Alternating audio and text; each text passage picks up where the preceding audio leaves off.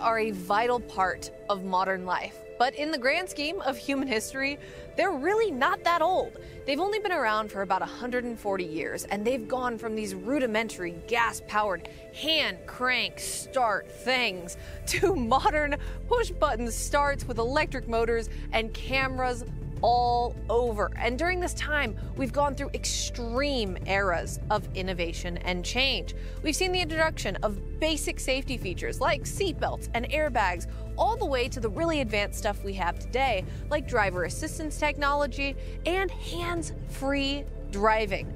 We're in another era of extreme change right now, where we go to cars with electricity, automation, and the ability to communicate with each other. The more you learn about that era, the more fascinating it becomes. And that is our goal today. I'm Alanis King, and we're calling this Crash Course. Today, we're going to learn all about cars in society, where they come from, where they're at, and where they're going. We're also going to talk about some really cool technology from our YouTube partner, Magna, which supplies a lot of parts you see in cars on the road today. So, we're going to break this down into four sections. The first is where and how did cars originate? The second is how are modern cars made? You might think that manufacturers just build an entire car and then they sell it to you. But in reality, they partner with other companies to create some of the vital parts on that car. Third, we're going to talk about where automotive technology is right now. And fourth, we're going to talk about where it's going. So let's dive in. Let's rewind to the beginning, which is the late 1800s. In 1886, a man named Carl Benz patented a motor vehicle powered by a gas engine. This would become known as the Benz patent motor car. It was a three wheeler, and the newspapers soon got a hold of it. And in 1888, Benz's wife, Bertha, took this car on the first ever long distance road trip in automotive history with her two sons. They went more than 100 miles, and she had to troubleshoot this thing along the way. And the publicity she got on this trip launched Mercedes Benz and the automotive industry to where it is today. The automotive industry was on a roll after that. Ferdinand Porsche introduced the first hybrid in 1901, a hundred years before the Prius became the first mass produced hybrid, and his car had an internal combustion engine that powered a generator. That generator sent charge to the wheel hubs to drive them. Electrification in the automotive industry actually has a really interesting trajectory. There were electric carriages decades before the Benz patent motor car in the 1800s, but in the early 1900s, gas engines began to win the technology race. So people and companies went all in on gas, and we didn't really hear much about EVs until where we are today, where governments are kind of mandating we go that way. In the past 140 years, there have been tons of major advancements in car technology. In that time, we have gone from 10 mile per hour three wheeled buggies to 2,000 horsepower electric supercars. There is so much that goes into each individual development in the automotive industry, but there's also so much that goes into the cars that are in your driveway. And that's what we're talking about next. I've been professionally driving and reviewing cars for about a decade, but this year I have learned so much about where they come from thanks to our partner Magna. Magna is what's known as an automotive supplier, and suppliers make vital parts, systems, technologies, and sometimes entire cars for automakers. The Mercedes Benz G Wagon, Magna makes that. The Toyota Supra, Magna makes that too. Automakers and suppliers work together to create vehicles, and the relationship makes a lot of sense when you learn more about it. Whereas an automaker will do the styling and brand defining features of a car, a supplier will step in to do the more universal things like headlights, taillights, driver assistance features, driver monitoring systems, seating materials and arrangements, battery enclosures, door handles and latch systems, powertrains, hybrid drive systems, transfer cases, and more.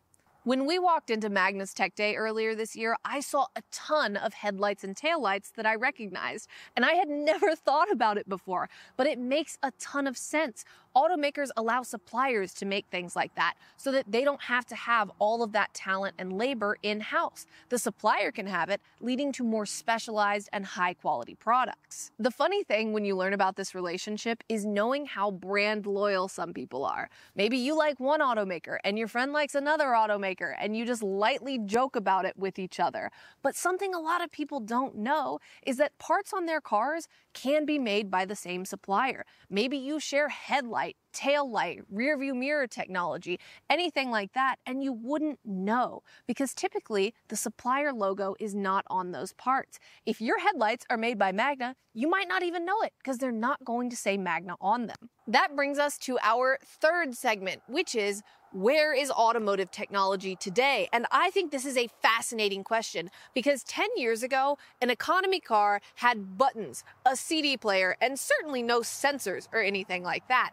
And today, an economy car has a touchscreen, a backup camera, and sometimes low level driver assistance technology. And that's just the budget cars. The higher end ones have satellite aided transmissions, hands free driving, digital keys, and all kinds of automated systems. When you get in a modern car, it is doing so many things that you are not even aware of. I've driven about 60 cars this year for my job, which is reviewing cars. And when you review a car, an automaker typically sends you the highest trim of that car to review. I find that these higher level trims share a lot of technology, including adaptive headlights, adaptive cruise control, lane keep assist, automatic stop start, 360 degree cameras, auto park, electronic parking brakes, Apple CarPlay, and more. Tons of these systems exist because modern automotive technology like cameras, radar, and LiDAR allow cars to see what's around them road signs, pedestrians, other cars, and stuff like that. Sometimes they will visualize that on the screen and show you what the car is seeing. And sometimes they'll just use that information to feed what's on your driver instrument cluster. If you get in a modern car, you'll notice that sometimes a little stop sign will come up when you're rolling up to a stop sign. And also, that information feeds the car's technologies like driver assistance technology. It knows what cars are around it and in front of it, and it can speed up and slow down accordingly. Cars also use this technology to feed emergency maneuvers and warnings. And sometimes they're a little early on the jump with those warnings. I was off roading a Toyota Land Cruiser right over here a few weeks ago. And when I went down into a light little ditch, it was like, brake, brake, brake, brake, brake, brake, brake, brake, brake. And I was like, oh, okay, I don't really need to do that. I'm off roading. So it was a little early on the jump, but I appreciated the sentiment. I find that when I'm talking to new car buyers who aren't car people, they're not actually using the two technologies I think are the entire reason to buy a new car, and that is adaptive cruise control and lane keep assist. Adaptive cruise control and lane keep assist are what allow you to stay in your lane and speed up and slow down without your input. The car can do it, and that uses the technology that I was talking about, where the car can see what's around it. It is so easy to turn these features on. You literally just usually do it on the steering wheel, just like cruise control. Set it on, pay attention to the road, and the car will take over those minute little inputs for you. So when you're going down the highway and you need to just slightly turn the wheel, you don't have to do that. And that makes a huge difference when you're on a long drive. If I drive four hours in a car with adaptive cruise control and lane keep assist on, it feels like it was 90 minutes, maybe an hour. I do not have the fatigue that I would normally on a long drive. Now, when you use these technologies, you have to pay attention to the road. With where automation is right now, you have to be ready to take over and turn the wheel or operate the pedals at any given time. You'll also notice that that technology sometimes will just slightly misjudge a lane and you have to grab it and pull it into the lane. But it makes such a difference in driver fatigue. And when people aren't using it, I don't understand.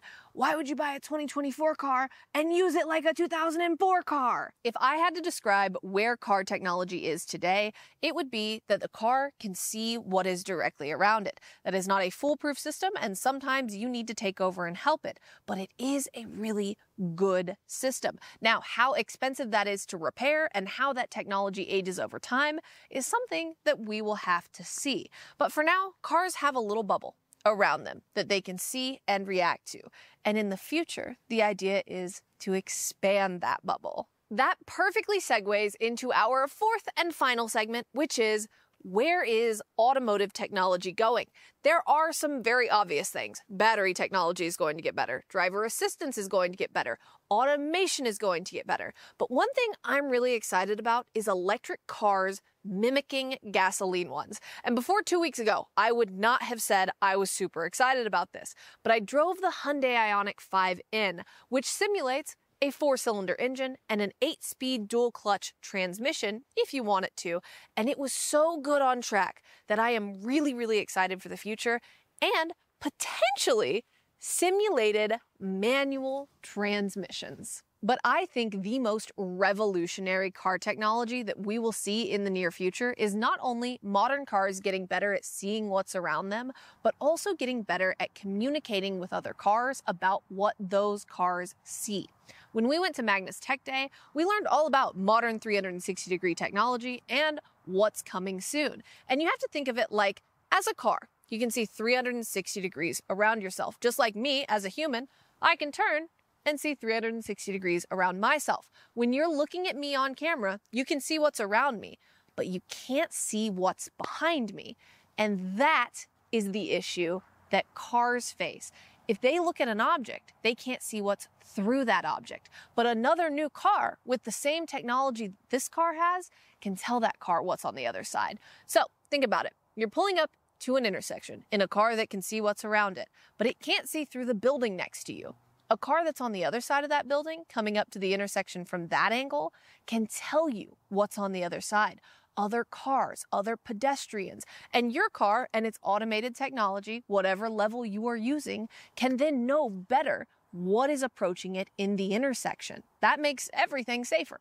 As cars get better about communicating with each other, it not only helps the car make normal maneuvers and emergency maneuvers, but it also helps you because the car can tell you what is out of your field of view, and it makes you better able to drive. This is really helpful for driver assistance technologies, automated technologies, and even full self driving technologies. Because if a car can see more, it's better able to react to a busy and unpredictable environment around it. Motor cars, starting with that gas powered Benz in 1886, have only been around for about 140 years.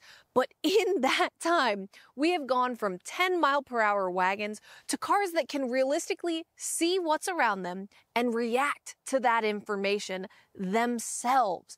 There is so far to go still. And I really appreciate that you came for this little history lesson with me. So thank you so much for watching. And thank you to Magna for teaching me so much stuff about cars that I would not have known otherwise. If you like this video, video, liking it, or subscribing to the channel means a ton. And if you want to leave me a comment, I will be sure to reply. But otherwise, we'll see you next time.